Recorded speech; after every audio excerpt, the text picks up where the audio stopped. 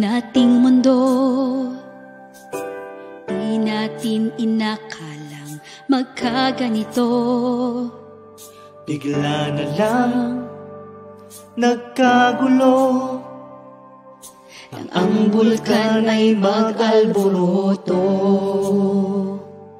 Ang tadhana tila nananadya Bigla ang pagdating nitong pandemya. Maraming bagay ang nagbago. Matutuloy pa kaya ang Pasko?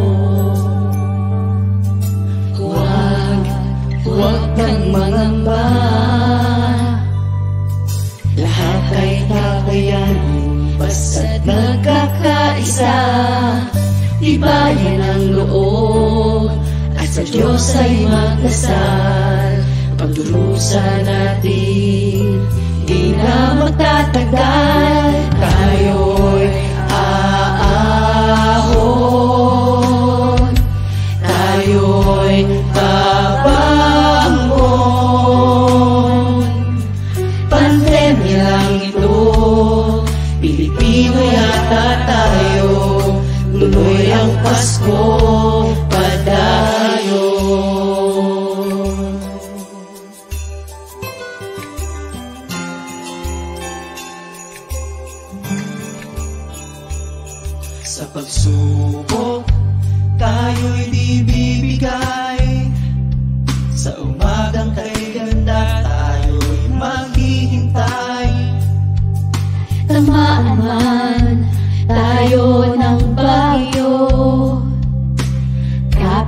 Kapit misig lang kaya natin to.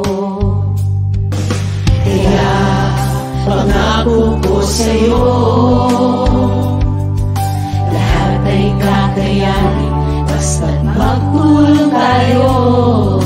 Tibayan ang loob At sa Diyos ay magdasal Pagdurusan natin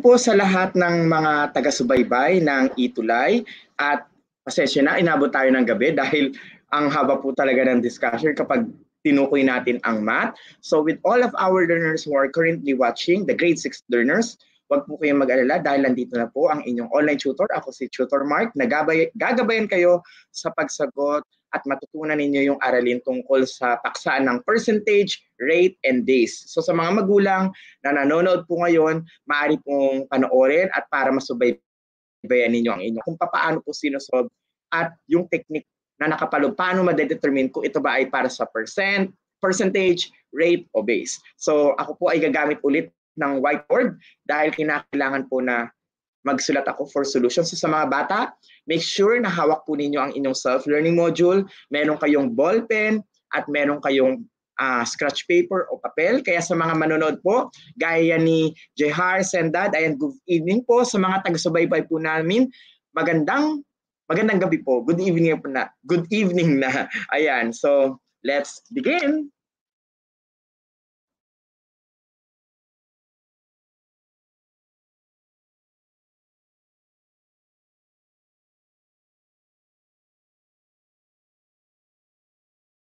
Okay, so sa mga manonood po natin, ang ating pong tinatalakay ngayon ay ang week 3 lesson ng grade 6. Ginagamit po natin yung Calabarzon Pivot Module at ito ang lesson tungkol po sa percentage, rate, at base. Pag tinukoy po natin itong lesson na to, importante na alam natin yung formula na ginagamit. Uulitin ko, importante alam natin yung formula na ginagamit at makakatulong po yung triangle na ito. Okay? So yung triangle na ito, mga bata, tatandaan natin na pwede natin hatiin yan ng ganito. Lagyan natin na parang letter T sa loob. Ayan. Tapos, sa ibabaw, lalagay nyo lang yung P, sa gilid yung R, at sa gilid yung B. So we have P, R, and B. Ibig sabihin yan, kaya importante to dahil itong block na ito ay magbibigay sa atin ng clue kung ano ang ating sinasolve. So for example, simulan natin na paano kapag hinahanap natin ang percentage. Yung percentage po, mag-ano muna ako, piprint ha. Ang percentage ay may formula. So, hinahanap mo yung P, at kapag hinahanap mo yung P, ang makakatulong sa iyo ay yung R mo o yung rate at saka yung base mo. At makikita yun dito sa ating diagram or illustration. Pag hinahanap mo yung P, yung R at B na magkatabi, ang kailangan mo at imumultiply mo yun. Nakuha? Ganun po ang gamit nun. Kapag hinahanap mo naman halimbawa ay yung R o yung rate, kukopya mo yung R, lagyan mo ng equals, at i-imagine mo kung anong natira. P nasa taas at B nasa baba. Ang P ay nasa taas at ang B ay nasa baba. At yan ang kanyang formula. Meaning, i-divide niya. Kapag hinanap ang rate. Kapag hinahanap naman natin ang base, tatakpan nyo lang yung B at makikita nyo yung natitira. So, pag hinanap ang base, that's B, ang matitira ay ang P sa taas at ang R sa baba. P sa taas at R sa baba. Kaya, yan po yung paraan kung paano natin makukuha yung formula ng percentage, rate, at ng base. Gamit po itong diagram or illustration na ito. Again, kapag hinahanap mo yung P, takpan mo yung P. Anong natira? Magkatabing R at B. Pag hinanap mo yung R, takpan mo yung R, ang matitira, yung P at B na nasa taas at ibaba niya. Kaya R equals P over B. Ganon din kapag base. Takpan mo yung B, ang matitira ay ang P at ang R. Kaya P divided by R. So, ito po ang pinaka-basic niyan. Kinakailangan ay memorize ang formula para ma-solve natin ito. Now, you have some exercises dito po sa inyong self-learning module at hindi ko i-spoon feed. Ang gagawin ko po ay sasagutan ko lang ang add numbers. Uulitin ko ha, add numbers. So ang gagawin niyo mga bata, kayo mag-solve ng even numbers. Okay? Pero i-guide ko kayo. Turn your module on page 15. Doon tayo sa learning task number 1. Again, page 15. Learning task Number one tayo. We are going to have first all the odd numbers. Yun ang aking isosolve. At kayo naman, assign ninyo, syempre sagutan ninyo yung even numbers. Okay? So sa tutor mark, sisimulan kong ituturo. Number one. The question says,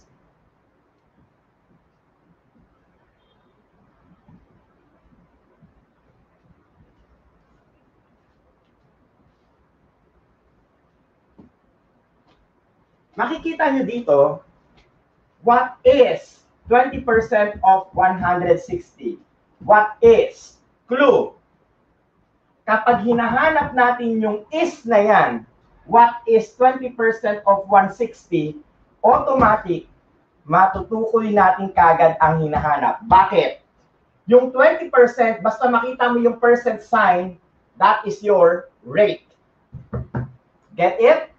Pag nakakita ka ng percent symbol, that's your rate. Automatic yan ang R mo. Lagay sa utak mga bata, pag merong percent, R yun. Next, kapag nakita mong off, ang kahulugan niyan ay B. Pag nakita mo yung off, ibig sabihin yan, yan yung base mo. Therefore, ano ang nawawala sa PRB? Correct. Ang nawawala ay ang percentage. Kaya ang formula natin, P equals R times B. And get what is R, get what is B. Ang rate ay 20% times. What's the base? 160. Ganun lang po isusulat. Next, you cannot multiply it kung naka-percent siya. Kinakailangan i-move mo siya going to the left twice yung kanyang movement. So, kung meron kang 20%, ang movement niya ay ganito. From here, 1, 2. At ang magiging sagot niya ay 0.2. Yun ang pagko-convert from percent to a decimal number. Again, paano ko siya ginagawa? Kung meron kang 50%, lagay mo dito sa dulo yung, yung pen mo, tapos igalaw mo ng twice, going to the left, 1, 2, at yan ang decimal point. Ganun natin siya makukuha. Therefore, if we have 20%, that is 0.2. Bakit? Yung movement niya na dalawang beses going to the left, 1, 2, kaya siya naging 0.2. So tandaan, ganun ang i-convert natin, then multiply it with 160. After that, you can now multiply 0.2 times 160. So i-multiply lang natin. 2 times 0, 0. 2 times 6, 12. Carry 1. 2 times 1, 2. Plus 1, 3. Tapos yung 0, i-multiply pa natin. 0 times 0, 0. 0 times 6, 0. 0 times 1, 0. And add them. 0, 2, 3, and 0. Count the number of decimals. 1, 1. So, ibig sabihin niyan, ang kanyang magiging sagot ay 32 lang. Bakit 32?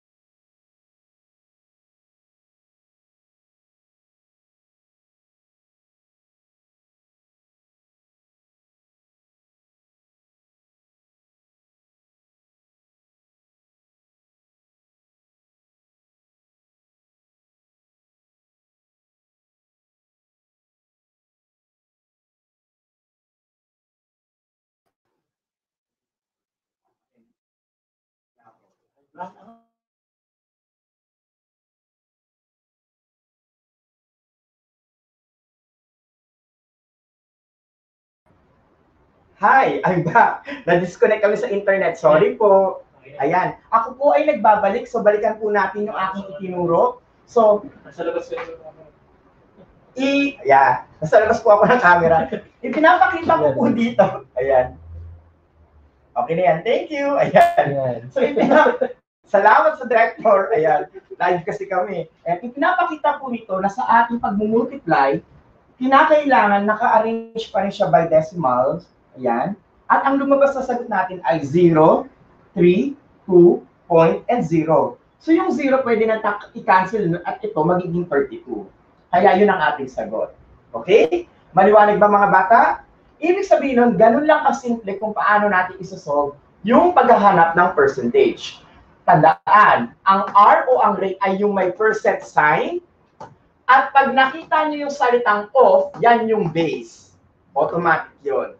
Kaya ibababa lang at ganyan siya isosolve. Now, kung nakita nyo kanina yung 20%, hindi kayo makakapag-multiply ng percent sa isang whole number. I-change ninyo o papalitan ang percent na maging isang decimal number. So, ang movement niyan ay dalawang movement papuntang left. So, 1, 2, gaya ng pinakita ko kanina, 1, 2, kaya 0.2, and then proceed to multiplication. Nakuha ba mga bata? Ganun lamang yon kasimple. Ngayon, sasabihin niyo, Sir Mark, pwede ba bang isang example? Sure. Ibibigay ko ang example number 3 para mahasa kayo. But again, I want you to hold your paper and pen and solve with me para po makapractice kayo. Okay? Erase ko muna itong kabila. Thank you. So, habang ine-erase ni Sir Wilbur yung kabila, I am going to solve number 3 kasi sabi ko nga all odd numbers ang aking isa-solve muna. Sa inyo, yung even numbers. Okay? At tatandaan natin yung formula kasi yung formula ang makakatulong sa atin para malaman natin kung paano siya isa-solve. Okay? So, dito tayo sa number 3.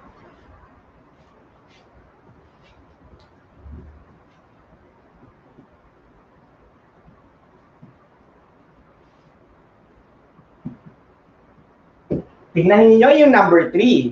15% of 80 is blank. Naalala niyo yung binanggit ko kanina? Pag merong percent symbol, yan ang R. Pag nakita niyo yung off, yung katabi ng off, yan yung base. At pag nakita niyo yung salitang is, ang hinahanap niyan ay yung percentage. Is blank. Hinahanap ko percentage. Ganun ang clue. So P equals R times B. Next step. Ang susunod yung gagawin, ilagay lamang kung ano ang R, which is 15%, times 80. After that, change 15% to a decimal number. 15%. Move it to the left. 1, 2. Lagay dito ang decimal point. So we have 0.15. Yan ang katumbas ng 15%. So 0.15 times 80. Now, we can multiply it. Let's multiply. 0.15 times 80. 0 times 5, 0. 0 times 1, 0. 0 times 0, 0. 8 times 5, 40. Carry 4. 8 times 1, 8. Plus 4, 12. Let's put 12. Then, let's add it. 0, 0 plus 0, 0, 0 plus 2, 2. And then 1. Let's count the number of decimal places. So, kinakailangan, pagkatapos ito, tinitignan natin yung decimal point. 1, 2, 2 places. 1, 2, at ito ang kanyang decimal point. Therefore, our answer for number 3 is 12. Is it easy? Yes, it is. Ganun lamang po kasimple. Nakita ninyo kung paano ko sinolve ang number 1 at kung paano ko sinolve ang number 5. Ah, sorry, number 3. At nakita po ninyo na simpleng-simple lamang basta alam natin kung ano ang rate at ano ang base. Nakuha mga bata? Importante na binibilang natin yung decimal place para mailagay natin ng tama ang sagot. Sir Mark, ni technique ba pag hinanap natin ang percentage? Yes, there is a special technique that we can use in solving for the percentage. However, these techniques requires constant practice para hindi ka magkakamali. At kung handa na kayo sa technique na yon, ituturo ko sa inyo. So, erase ko lang itong gitna ah. There is one special technique in solving percentage. So, if you would like to know about it, ganito po siya isinosolve. Pero sabi ko nga, ano man ang solution sa mathematics, ang importante ay we arrive with the correct answer at alam natin ang proseso. So this is the technique. Let's have first the 20% of 60. Of 160, I mean. Ang sagot natin kanina dito ay 32. Pag ito ang ginawa natin, simple lamang po ang inyong gagawin. You drop the zero. Again, you drop the zero. Drop it, drop it. You now have 2 and 16. 2 times 16, it's 32. Do we have the correct answer? That's how to solve it. Again, that's the technique. You need to drop something. At pag dinrap ninyo at yun natira, i-multiply, and you'll get the correct answer. Hindi ako nagdaan sa mahabang proseso. So those learners who are currently watching, you can try out that technique. Again, that's the simplest way how to do it. Pero, eto ang long cut na itinuro ko. Pag na-master nyo na to, then maybe you can try out this one. Cancel it, the remaining 2 and 16, multiply, you get 32, you get the same correct answer. Okay? Nakuha po ba yon?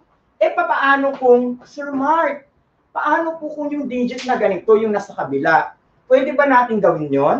My answer is, yes, of course, we can also do the same thing. Ang gagawin mo lamang ay i-multiply po ito.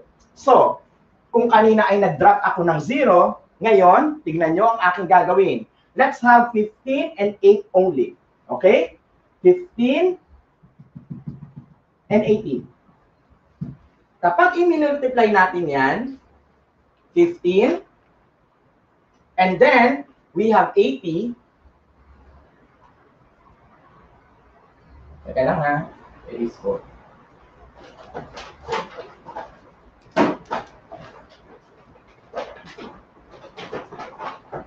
So kapag minultiply natin, long cut yun. Tignan nyo muna, pag nilong cut ko, 0, 0, 0, 4, 88, 9, 10, 11, 12.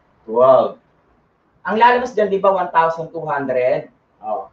Ngayon, lagi nyung tatandaan kasi na dapat cancel out natin ang two places niya dahil ang percentage ay may movement na two places to the left. 1, 2, 12. Di ba? Pareho lang. Nakuha?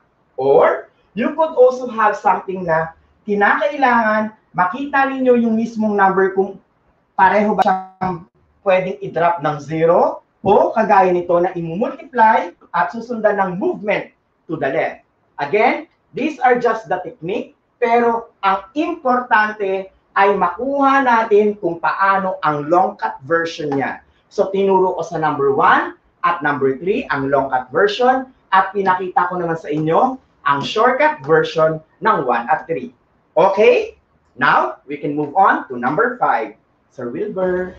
So sa mga nakakita po, pwede nyo pong ulitin at i-review yung episode na to para makita yung shortcut method. Again, it requires mastery to do it. But if you have mastered it, ang dali lang mag-solve. So kung kayo ay lalaban sa pabilisan na mag-solve, pwede yun. Pero yung sa school lang, usual na sa, nasa loob ng classroom, long cut will do. Ayan. Pero kung, gaya nga nasabi ko, kung lalaban kayo sa competition, kung kailangan pabilisan mag-solve, yun ang isang technique na pwedeng gamitin.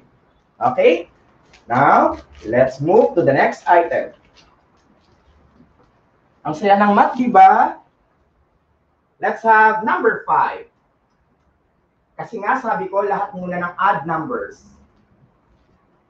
What is 30% of 20? Now, let's go back here. What is 30% of 20? Balikan natin. May percent. Sir Mark, R yun. Very good. May off. Sir Mark, B yun. Ano nawawala? Correct. Percentage. So let's have P equals R times B. Let's have the long cut. Long cut muna, okay? Let's have 30% times 20. Anong ginagawa sa percent? Sir Mark, ginagawang decimal. O gawin natin decimal ang 30%. 30%. Let's move it. 1, 2. Anong sagot? 0.3. So let's have it here. 0.3 times 20. Let's multiply. 0.3 times 20. 3 times 0, 0. 0 times 0, 0. 2 times 3, 6. 2 times 0, 0. Let's add 0, 6, and 0. How many decimal places? 1. 1. What's the answer? It's 6. Now, let's have the shortcut method. O, ito yung long cut. Shortcut, 30% and 20. Cancel the 0. 2 times 3, 6. Do we arrive with the correct answer? Yes. Clear? Long cut, shortcut. Nasa sa inyo kung ano gusto nyong gawin. But again, you need to master where you need to arrive with the correct answer. Okay, that's number 5. Let's move on to number 7. Number 7, 65% of 100 is blank. Okay, let's move to number 7. Sabi ko kanina, pag may percentage, ano yon? Ah, sorry, may percent symbol, yan ay ang R. Pag merong off, yan ang B. Anong nawawala? Correct. Percentage. So P equals R times B. After that, put 65% multiplied by 100. Then, sabi ko nga kanina, 65%, change it into a decimal. So, lagyan natin dito, 65%. 1, 2, ang sagot, 0.65. Let's put it here. Times 100. After that, let's multiply. 0.65 times 100. Let's solve. 0 times 5, 0. 0 times 6, 0. 0 times 0, 0. Alignment, 0 times 5, 0. 0 times 6, 0. 0 times 0, 0. Look at the alignment. 1 times 5, 5. 1 times 6, 6. 1 times 0, 0. Now, let's add. Bring down 0, bring, down 0, bring down 5, bring down 6, and 0. Let's count the number of decimals. 1, 2, 1, 2. Therefore, our answer is 65. Clear? Ang dali lang, di ba? O now, if we are going to move with the shortcut method, let's have it. Kung shortcut naman at ganito na walang 0 yung nasa unahan, let's have 65 multiplied by 100. Tignan niyo yung ginawa kong proseso, naka-extend yung 0. Again, for shortcut only, bring down 0, 0. 1 times 5, 5. 1 times 6, 6. How many decimal places pag percent? Dalawa. 1, 2, then we get 65. The same. Parehong format, pero yun ang proseso niya. You know now have the long cut and the shortcut. Clear? Now, let's move on to item numbers 9 and number 10 for the odd numbers. Thank you. So sa mga nanonood, pwede niyo pong ulitin at i-review yung aking ipinakita para ma-solve o makita yung long version at yung shortcut version kung paano siya sinusolve.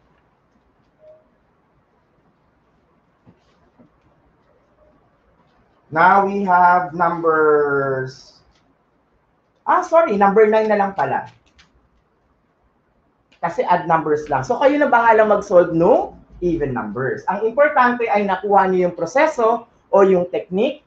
Remember, pag nakita niyo yung percent symbol, that's the rate. Pag nakita niyo yung off, yan yung base. Okay? Oh, number 9 na tayo.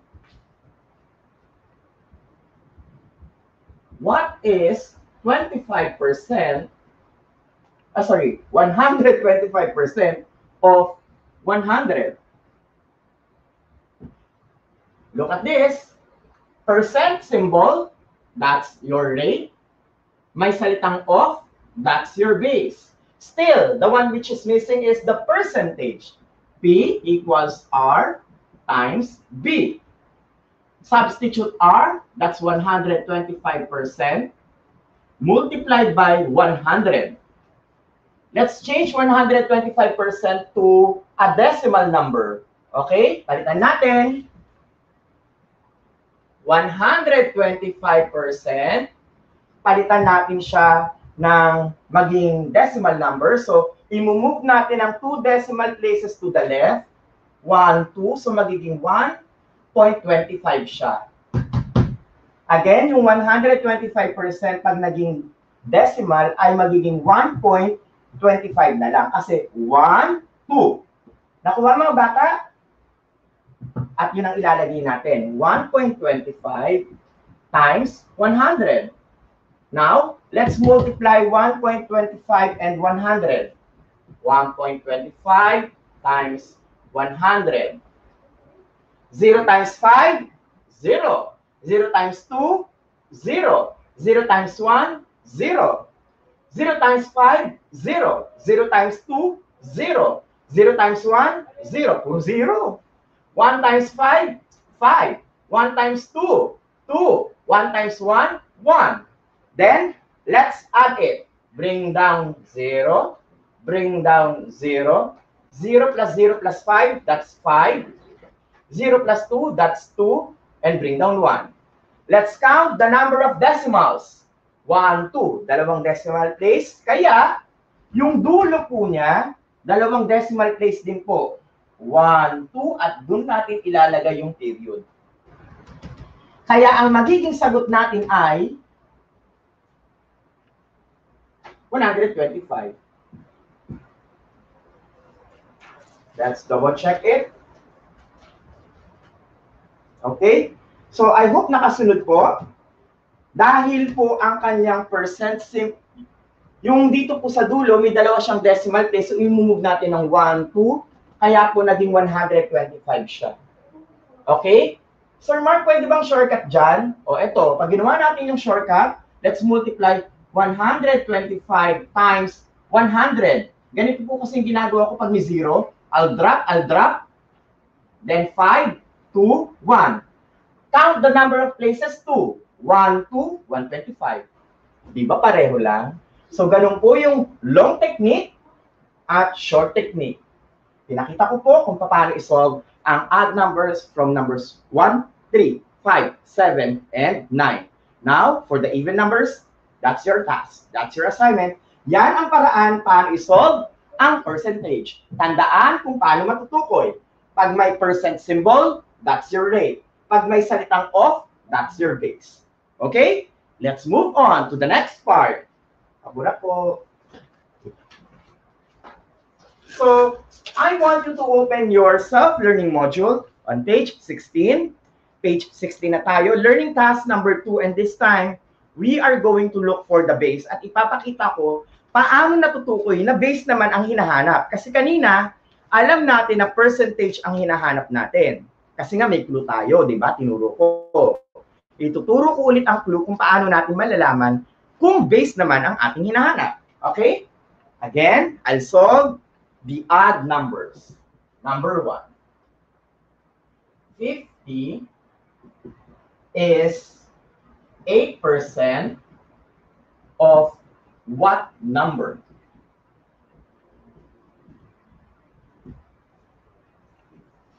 Kinakailangan ay observant kayo sa question. 50 is 8% of what number? First step, look at the digit. 8%, that's your rate.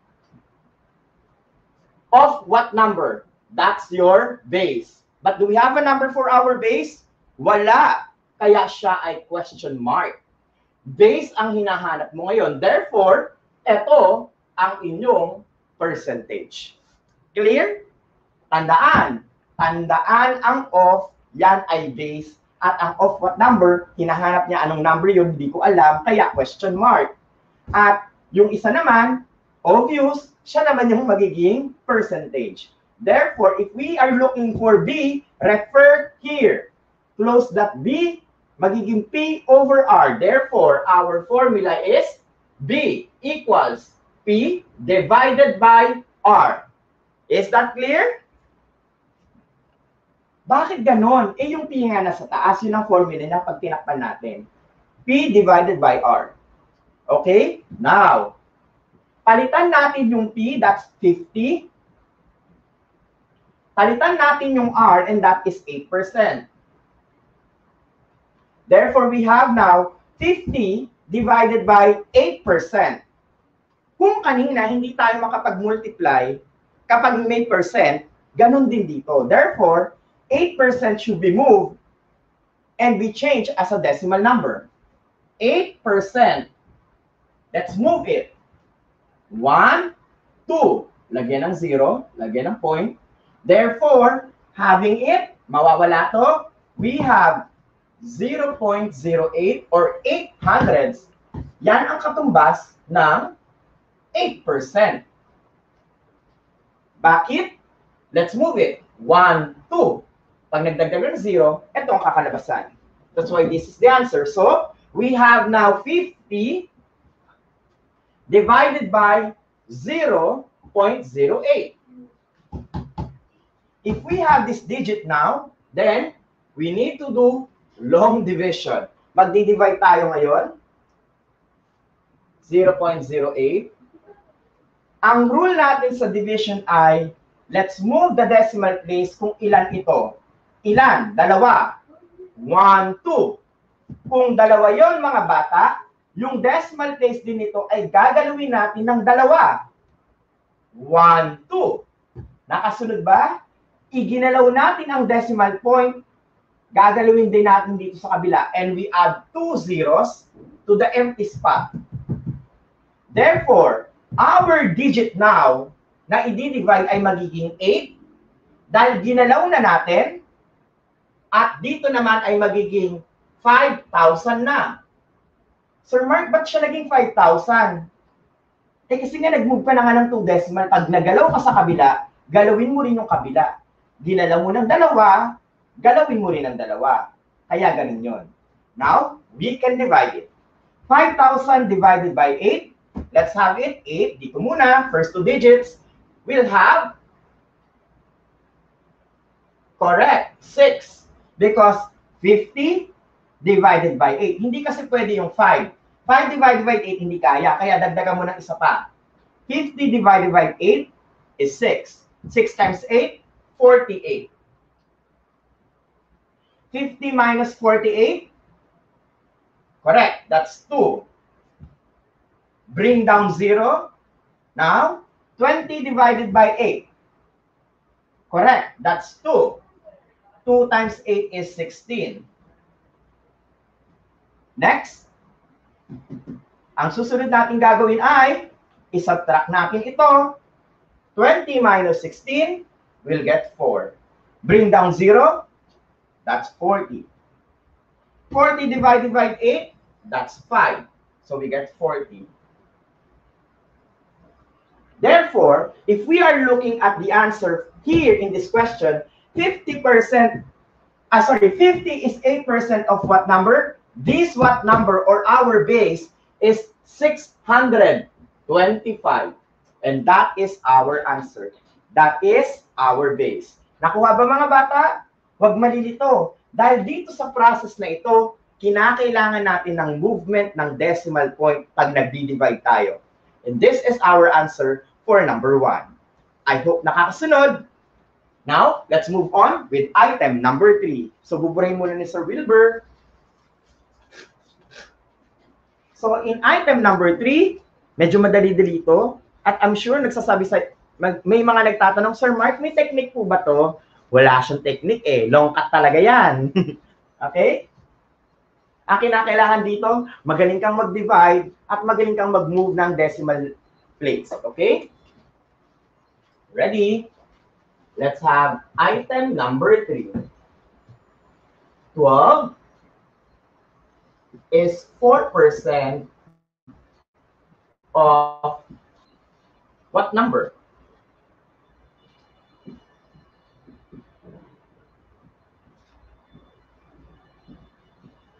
Yan. Nakikita ba? Parang hindi. Parang basa. Nasa na muna. Sobrahan sa basa.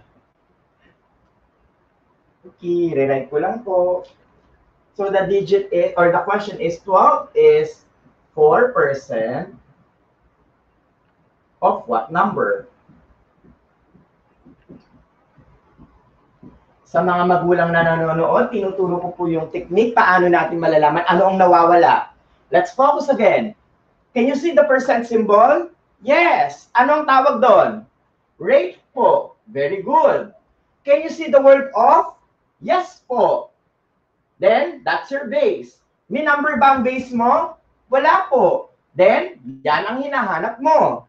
Anong natitira? Sir Mark, yan po yung P o percentage. Tama. Ano ang formula kapag hinahanap ang B? B is equals to P divided by R. Let's now substitute. 12 divided by 4%. Sir Mark, anong gagawin natin sa 4%? Papalitan natin na magiging decimal number. Let's move 4% to the left.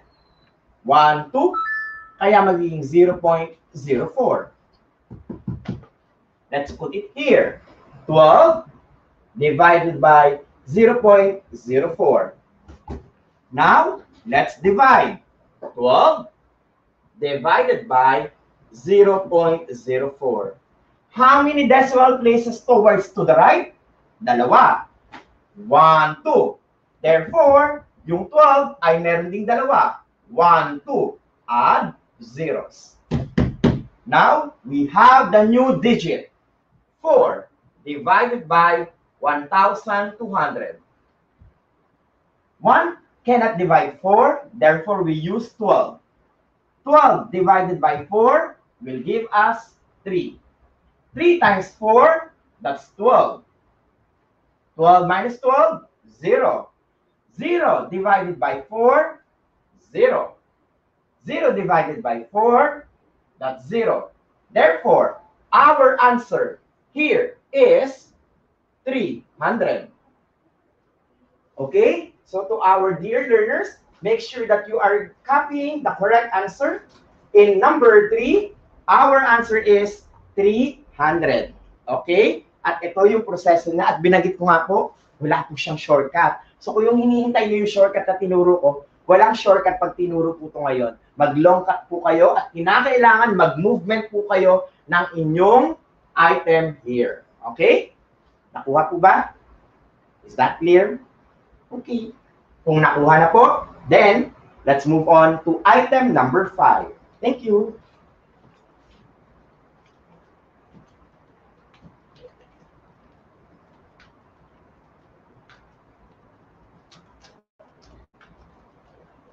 long cut talaga siya, hindi nyo pwede siyang i-shortcut. Talagang magmamano-mano kayo. Well, hindi siya kagaya kanina ng automatic-automatic. Walang ganun.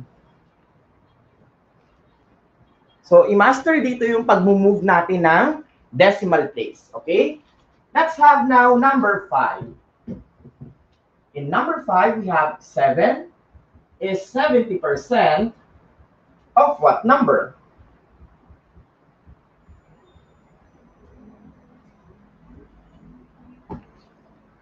Again, let's identify. So let's watching. Ganito po ang teka, mag-guide niyo anak niyo. Pag nakita ang percent sign, that is correct. The rate. R. Pag nakita ang off, yan ang tinutukoy natin na base. May base ba? Wala. Kasi sabi niya, what number? And the remaining is your P.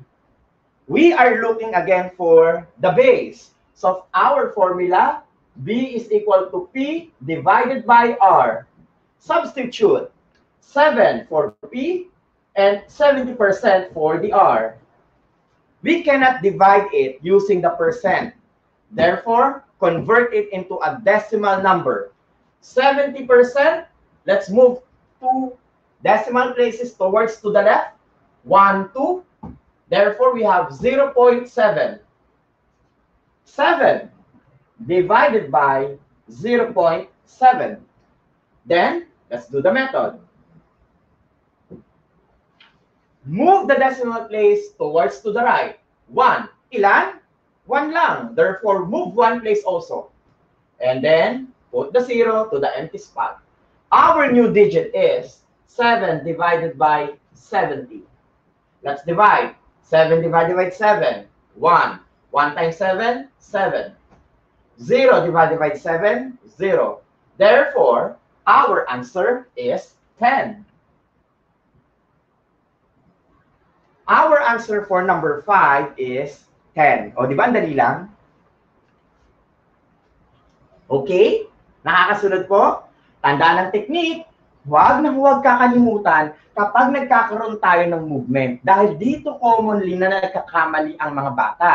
So mga learners, makinig mabuti, huwag kayong titigil dito sa 70%. I-convert nyo pa siya into a decimal at pag na-convert ninyo, i-divide ninyo ng maayos by moving the decimal place kung ilan man yan, kung dalawa, dito sa left side, dalawa rin siya dito. Pag isa doon, isa rin doon. Okay? Balance dapat. Thank you. Let's move on to the next item, number 7 and number 9. Ayan, malapit tayo matapos. So sa mga nanonood po ngayon, thank you. At sana ay magamit po ninyo ang aking i-share. At sasagutan naman ninyo ang other items. Okay? Para hindi tayo spoon feeding. But, nakikita po ninyo yung process. Please follow that para magkaroon kayo ng maayos na solution. Let's have number 7. 8 is 20% of what number?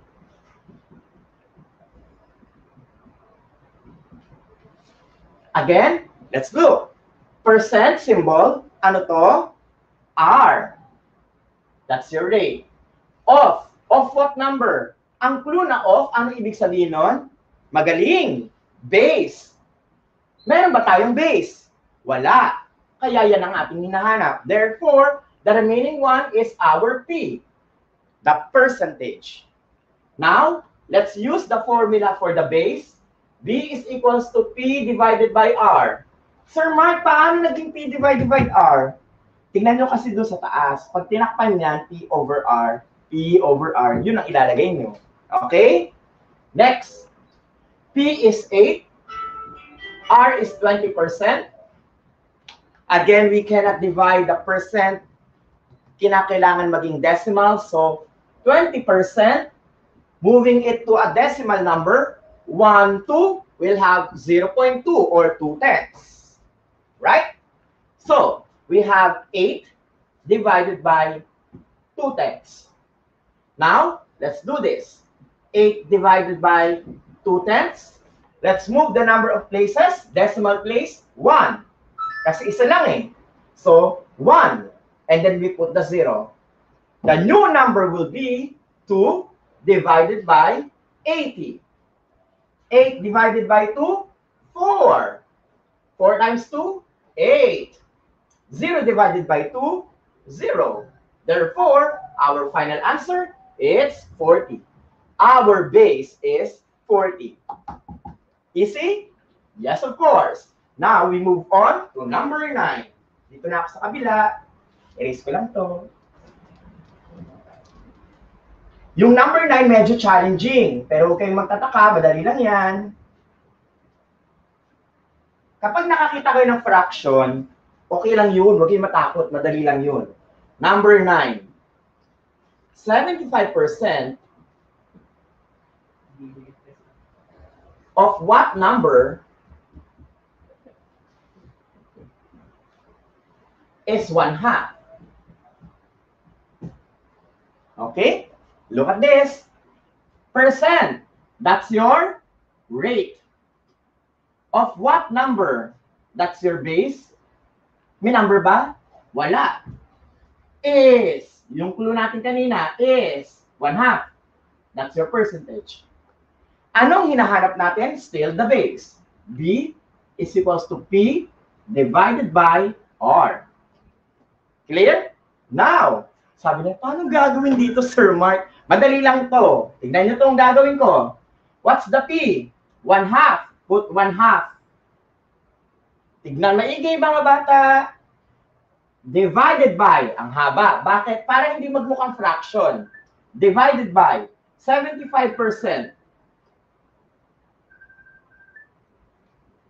Inaral natin noon na ang percent ay pwedeng maging decimal. Ang decimal ay pwedeng maging fraction. Babalikan lamang natin yon. Tignan ang aking gagawin dito. Okay? 75%. Kapag ginawa nating decimal, alam na alam na ninyo, 1 to 0.75. Tama? Hindi natin to gagamitin. Bakit? Fraction yung nasa taas. Kapag fraction ang nakita nyo, fraction din ang gagamitin natin. Nakuha ba? Kaya, kung gagawin natin fraction format ang 75 o 0.75, yan ay mag-equal sa copy nyo lang ang 75, lagyan ng fraction bar, at kung ilan ang places nito, yan ang bilang ng zero niya. Then put 1. Therefore, after putting this one, i-convert niyo yan sa 1 half divided by 75 over 100. O, di ba ang dali lang? Huwag kayong malilito. Ganun lang po ang proseso. Now, after having all of these things, kinakailangan ay ma lowest term natin siya o mapaliit natin yung numero. Okay? Tingnan ang aking gagawin. Naubusan ako ng space. Teka lang ha. O, dito ako. Tignan niyo po ah.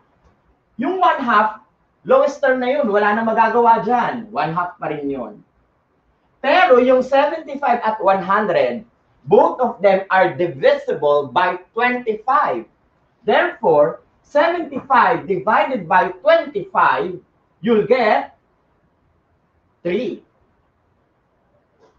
100 divided by 25, you'll get 4. So ano ang pinaliit ng number? 3 over 4. Get it? Now, let's focus on to this digit. Ililipat ko lang dito kasi wala na akong space. Uh, lilipat ko lang sa kabila, erase lang po to. Tandaan mga bata yung proseso. Kapag nagkaroon tayo ng fraction, gamitan nyo rin siya ng katumbas ng fraction. Huwag yung decimal number kasi ang mangyari, decimal yung magiging sagot nyo, napakahaba. So pwede nyo siyang gawin in fraction format. Now, I'll continue it here. Paaraw-araw lang, oh, parang nasa classroom. I'll get this digit. 1 half divided by 3 over 4. If you can still remember the lesson in fraction, ang ibig sabihin ng pagdi-divide na to ay kinakailangan mo ang reciprocal. Ay, ano daw yun? O, tignan nyo to. 1 over 2 divided by 3 over 4. Di ba ganyan siya? Yung reciprocal, pinapalitan ang division ng multiplication at binabaliktad yung 3 fourths o yung number sa kasunod niya. 4 over 3. Then, you do the multiplication. 1 times 4, 4. 2 times 3, 6. Can we lowest term? Yes, because 4 and 6 are both divisible by 2. Yan ay 2 times 2 at ito ay 2 times 3. Cancel out, therefore, our final answer is 2 thirds. Clear? Nakasunod? so, yan po ang sagot natin sa item number 9. 75% of what number is 1 half? Our answer is, that is 2 thirds. And that is our lesson for the base. I hope it's clear. Now, we move on to the last part. Okay? Pwede nyo pong ulit-ulitin para makita kung paano po siya sinog. Again, practice makes perfect.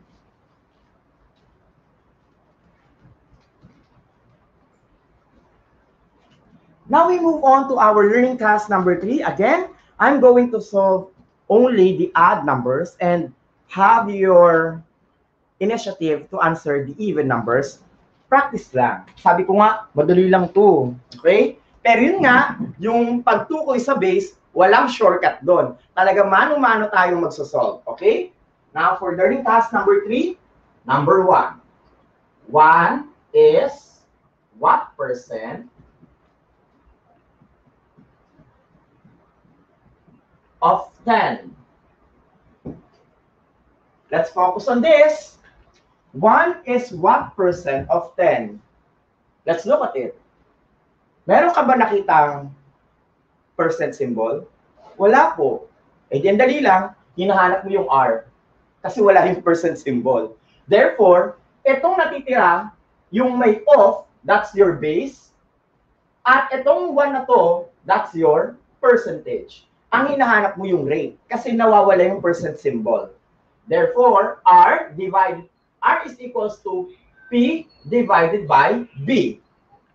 Next, substitute P is 1, B is 10. You divide 1 and 10. 1 divided by 10. 1 divided by 10, 0. Put the decimal place or decimal point. 10 divided by 10, 1. What's the answer? 0.1. But wait, we are talking about the rate. The rate has a percent symbol. Therefore, we need to move the decimal place twice going to the right side. Let's move. 1, 2. Ilan ang spot na natitira? Isa. Put the zero. Therefore, our answer is 10%. Clear? Ang dali lang, no? So, ibig sabihin nun, ang gagawin nyo lamang kapag nakuha natin yung sagot, imumove nyo lang siya ng twice sa gilid para maging 10%. Or, pwede mong i-multiply sa 100. Eh, kaso multiply ka ulit. Yun na nga yung technique eh. Yun na lang yung mabilisan. Move mo lang siya. Going to the right. So, remember the practice. First step, indicate the formula. Next step, substitute the given items. And after dividing it, once you have the digit, move the decim decimal place twice towards to the right. At ang mangyayari yung bakante, lagyan ng zero and put the percent symbol. Number three. Ang dali lang, no? 5 is what percent?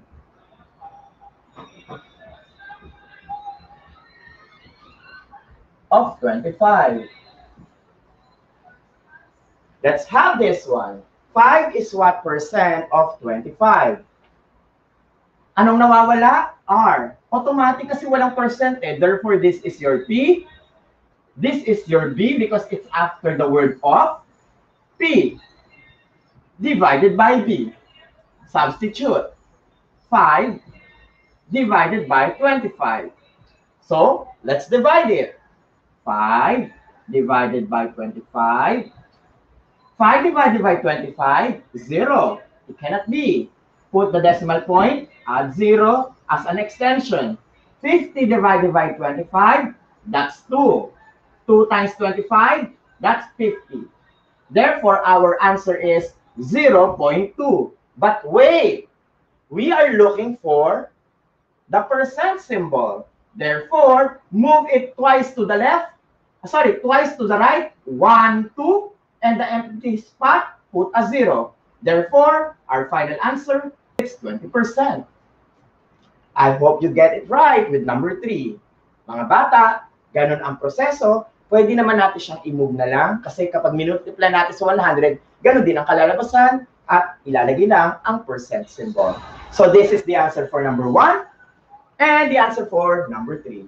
If you want to repeat it, you can simply review this episode of this Ecolay version ng percent rate, eh, ah, sorry, percentage, rate, and base. So, buburahin na po. We will now have numbers 5, 7, and number 9. Thank you.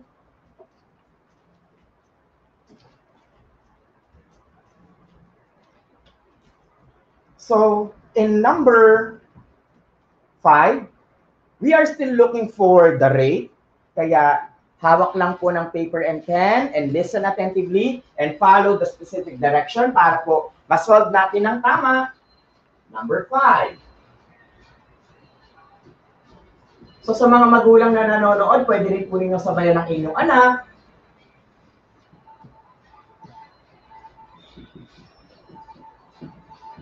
What percent of 20 is 15? Let's look at it. Meron bang percent symbol? Wala. Therefore, ang nawawala pa rin ay ang rate. Of, that means that is your base. is, that is your percentage.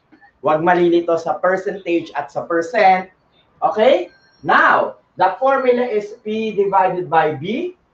Let's substitute. The P is 15. And the B is 20. Let's divide 15 and 20. 15 divided by 20. 15 divided by 20, 0. Hindi na kaya. Put a decimal, let's add 0. 150 divided by 20, that's 7. 7 times 20, that's 140. 150 minus 140 will give us 10. After having 10, add 0, bring down, we'll have 100 now. 100 divided by 20, it's 5. 5 times 3, that's 100. 100 minus 100, none. Therefore, our answer, 0.75. Or, if we move it twice to the right, let's move the decimal place. 1, 2, then we'll get 75 percent. And that is our answer for number 5. Easy, right? Now, we move on to number 7. Ayan, matatapos na tayo sa wakas. Woo! 27 is what percent?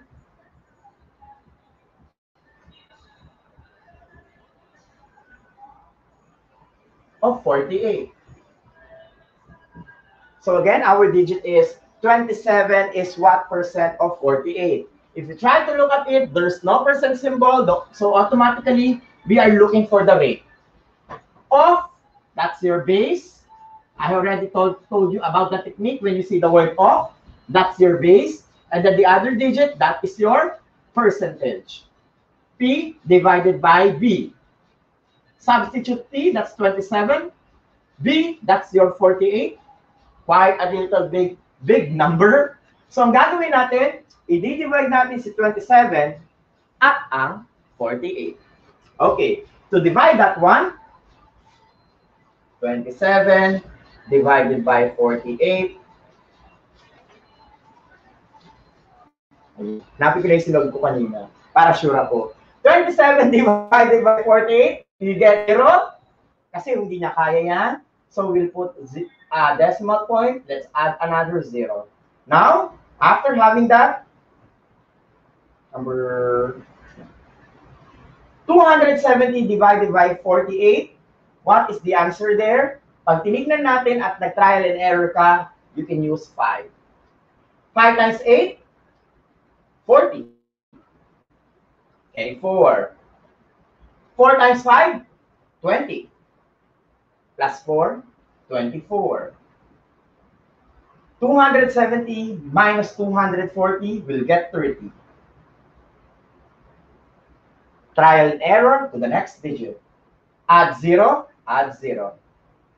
Next, we'll have 300 divided by 48. Will give us 6. 6 times 8, 48. Put 4.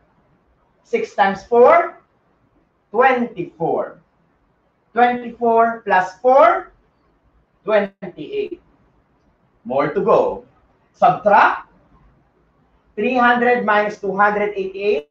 0 minus 8, that's 2. Pag naging 10 yan, kasi magbabarrow. Ito ay magiging 9. Ito ay magiging 2. 9 minus 8, 1. 2 minus 2, that's 0. Add 0. So our next one will have 120. 120 divided by 48 will give us 2. Ang haba. O, next. After that, meron na tayong digit na ganito. 2 times 8, 16. Carry 1. 2 times 4, 8. Plus 1, that's 9. Okay, ituloy ko ang pagsasolve dito. 0 will become 10, while 2 will become 1. When borrowed, magiging 11. 10 minus 6 will give us 4. 11 minus 9 will give us 2. Add another 0. Next one, 240 divided by 48 Oops, is easy. It's 5. Kasi nasolve na natin kanina. Then we get 240 here. 240 minus 240, that's 0. Therefore, our digit here is 5,625 ten thousands. Now, let's move it with two decimal places to the right. One, two. Therefore, our final answer, 56.25%. Clear? So, for number 7, 27 is what percent of 48? That is how we're going to solve it. Quite a long process, but you need to be very patient in solving it. So that's how are we going to solve for item number 7. Again, our answer is 56.25%. You need to move two decimal places towards to the right doon sa makukuha nating sagot. Ayan, last item na tayo. Number 9.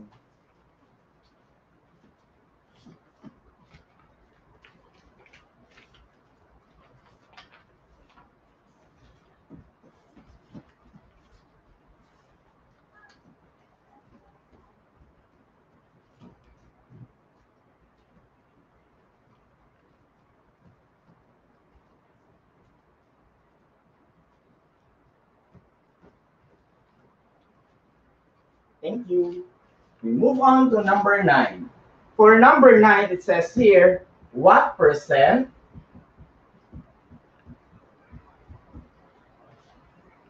of 24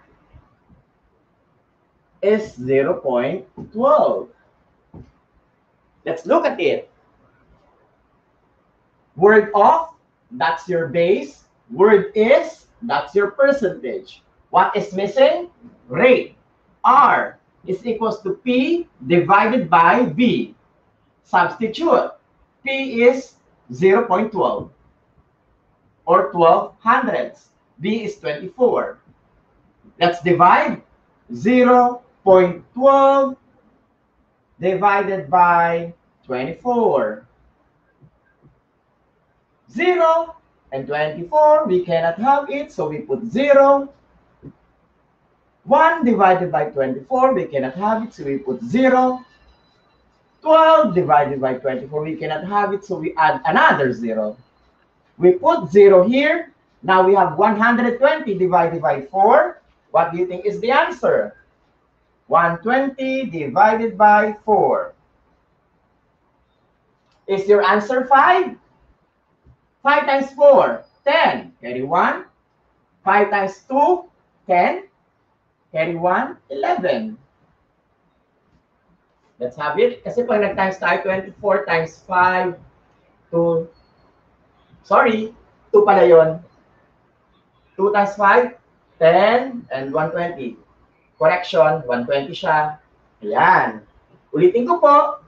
5 times 4 is 20. Carry 2. 5 times 2 is 10. Plus 2, that's 12. Kaya 120 po yun. So, our answer is 0.005 or 5 thousandths. But we need to move it two decimal places towards to the right. 1, 2, hindi umabot. So ang sagot natin ay 0.5%. So that will be our answer for number 9. Bakit 0.5%? Kasi hindi po umabot eh. Oh. Nung minove natin ng 1, 2, nandito po siya. Kaya, ganyan ang kanyang kinalabasan. So this is our answer for number 9.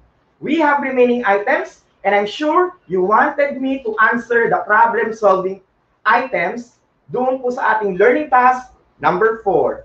Don't worry, I will answer it. Gagayad ko po kayo. Buburay lang po ni Sir Wilbur. Woo.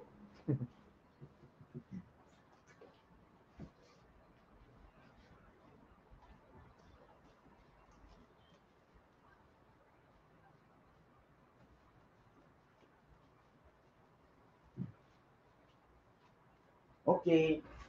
Pag meron tayong problem solving, we need to apply the same concept of what we have earlier. Para mas maintindihan, isusulat ko yung question. Okay lang ba yon? Pero habang sinusulat ko yung question, i-analyze ninyo kung kapareho ba siya ng mga tinuro ko kanina. Okay? Yung clue words natin. So I'll copy the question. Matuka-receive na ako ha.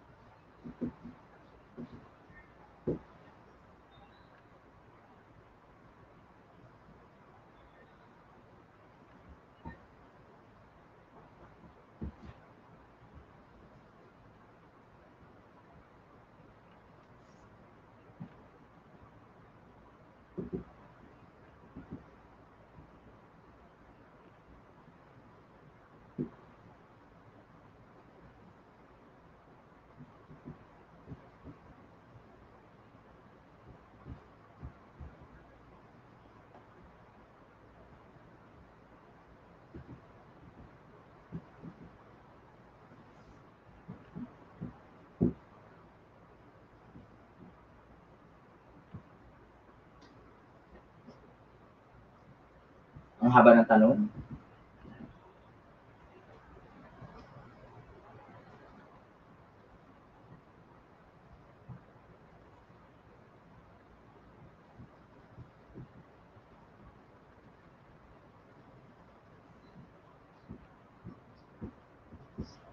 Okay, ang haba ng tanong.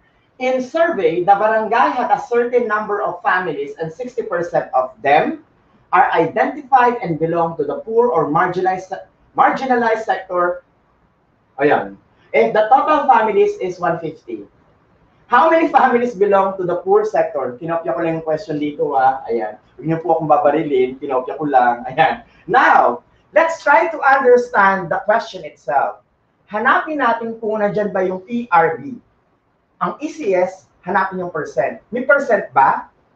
Kung may percent, opo, then you have your rate. This is your rate. Next. Ang susunod na tanong dyan ay, hanapin yung salitang total. Nagbabago pag naging word problem at kapag nahanap yung salitang total, yan ay nangangahulugang base. Okay? Hanapin natin ha.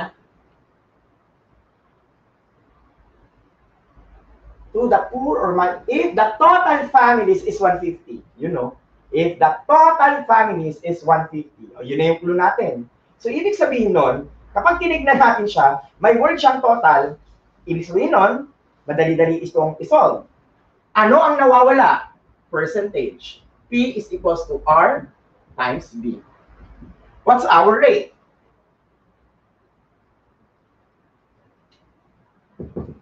Our rate is 60. 60%. What's our base? Yung total na sinabi niya, 150 times 150. Change 60% to a decimal number para makapag-multiply tayo. 60%. Move to the left. 1, 2 kasi pag decimal. So we have 0.6. 0.6 times 150. Malalaman natin kung ilan yung poor na tinutukoy nila. So 150 times 0.6. 6 times 0, 0. 6 times 5, 30. Carry 3. 1 times 6 is 6. Plus 3, that's 9. Next, count the number of decimal places. 1. 1. Therefore, we have 90. Or, in the shortcut method, we have 60% and 150. Cancel out the zero. Cancel, cancel. 6 times 5, 30. 6 times 1, 6 plus 3, 90. 90 is the same. Therefore, even if we have the shortcut or the long cut method, yung total number of families who belong to the poor sector is actually 90 families. Please make sure to put the label. 90 families belong to the poor sector. We need to make sure that we, when we answer a problem-solving item, we need to put a label, properly labeled. Pag nilagay mo lang 90, 90 ano yun? 19 palaka, 19 teacher, 19 na ballpen. We need to analyze the question, so we need to put the proper label. Since the question is, how many families belong to the poor sector? Then our final answer, 90 families belong to the poor sector. And that is our answer. Pakilagay ng mga bata, yan ang sagot sa problem solving natin, item number one. So, sulat na po. Now, with item number two, kayo ang sumag-solve. Naalala niyo sabi ko, add numbers lang ang aking isa-solve. Kaya, yung number two, practice kayo. I-analyze kung paano isa-solve. Tinuro ko yung guide. Pag yung base, hanapin lang yung word na total. Yun yun. Okay? Now, let's move on to item number three. Yan. Last na.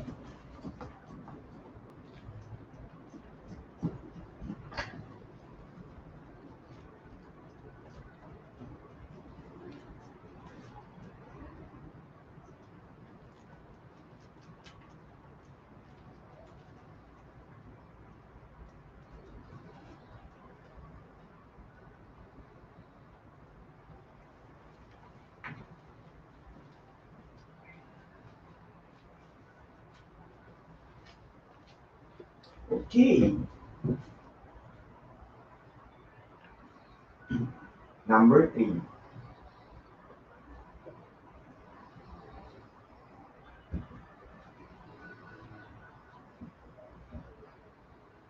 Basa.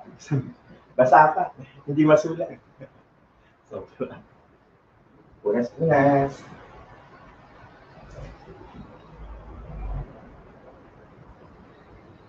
A passenger bus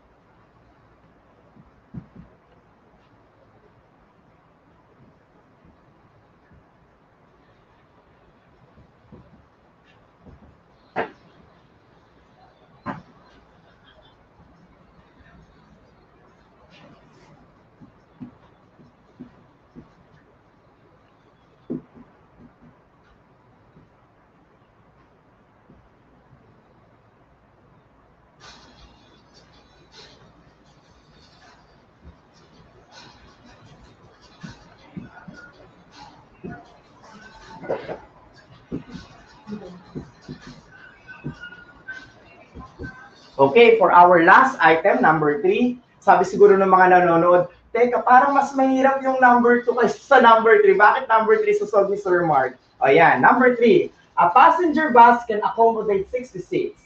During pandemic, they reduced their accommodations to 50%. How many passengers can be accommodated by the bus? So if we try to look at it, sa simpleng uh, sense, meron tayong rate, kasi meron siyang percent sign. At kung titingnan natin, yung total number of seats ay 60 total. So ito ang base, ito ang rate. Ano nawawala? Yung percentage. So gagawin mo lang T is equals to R times V.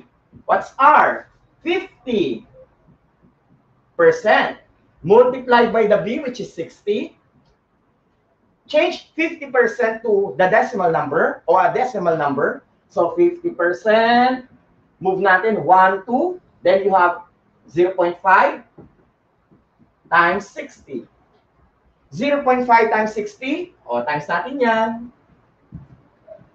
5 times 0, 0. 5 times 3, ah, sorry, 5 times 6, 13.